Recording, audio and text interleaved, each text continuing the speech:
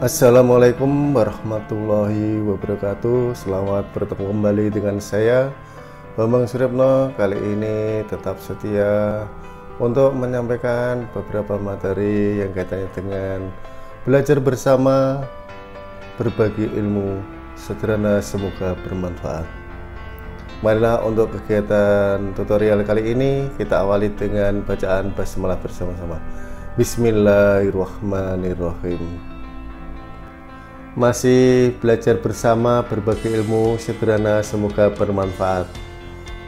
Kali ini saya akan menyampaikan tutorial cara sederhana rekam layar pada laptop. Bahwa kegiatan di masa pandemi covid-19 ini banyak kegiatan, banyak belajar, banyak bekerja dari rumah kita mengikuti kegiatan secara bisa menggunakan Zoom, bisa menggunakan Google Meet, bisa pula mengikuti secara langsung dengan cara webinar. Untuk itu, setiap kegiatan webinar kita bisa mengikutinya, bisa melihat dan mendengarkan. Namun setelah selesai kita lupa.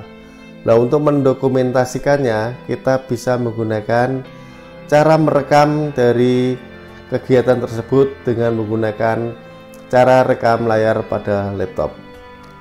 Kita tidak perlu mengunduh aplikasi-aplikasi rekam layar.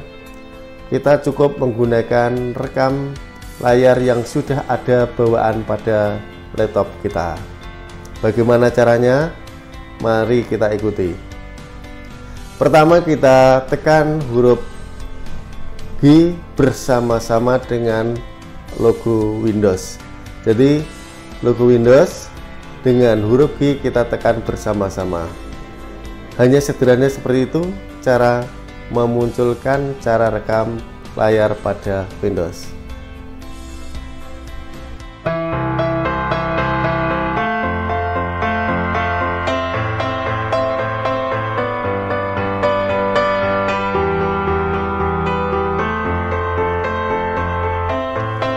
Sekarang kita mencoba mempraktekannya seolah-olah kita mengikuti suatu webinar. Kita buka misalnya kita buka YouTube kita. Karena webinar biasanya kita berlangsung secara langsung di lewat YouTube. Bisa kita buka YouTube dulu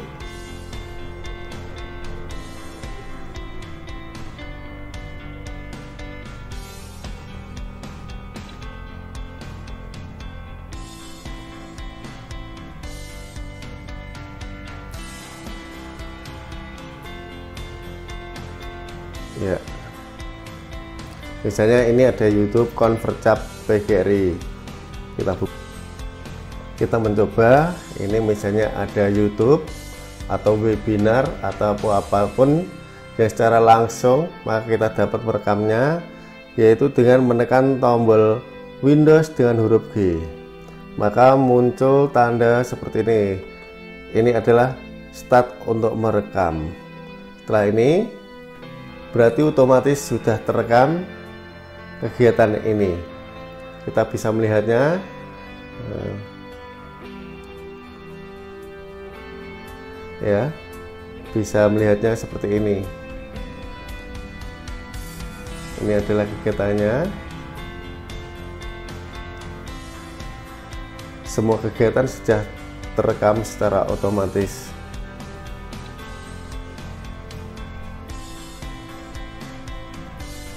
kita mencoba dulu ini sudah sampai 7 detik 8 kita mencoba?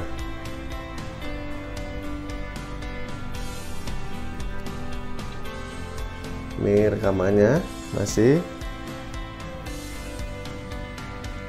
Jadi cukup menekan tadi huruf G dengan Windows. Kita cukupkan sekian untuk latihannya hasil rekamannya ke mana?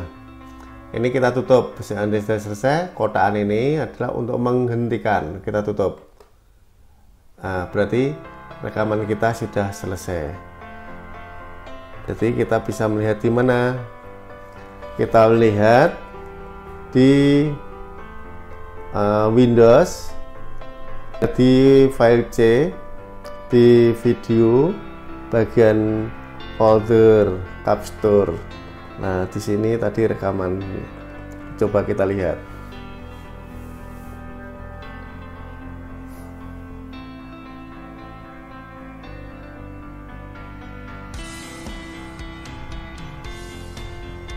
Nah ini hasil rekamannya convert cap PGRI YouTube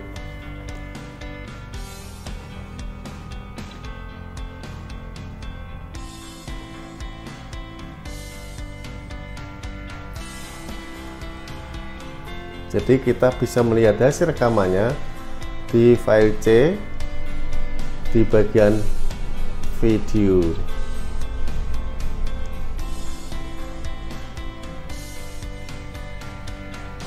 Nah ini adalah hasil rekamannya tadi. Mudah sekali ya kita sambil berwebinar sekaligus dapat mendapatkan hasil dari apa yang kita peroleh dari webinar tadi berupa rekaman layarnya menggunakan aplikasi bawaan laptop kita. Demikian tadi adalah cara rekam layar pada Windows pada laptop kita secara sederhana. Kita ingatkan kembali cara merekamnya adalah menekan lambang Windows dengan huruf G secara bersama-sama. Demikian yang bisa saya sampaikan. Semoga dapat bermanfaat. Selamat berwebinar. Sekaligus selamat merekam apa yang kita lihat dan kita dengarkan. Terima kasih.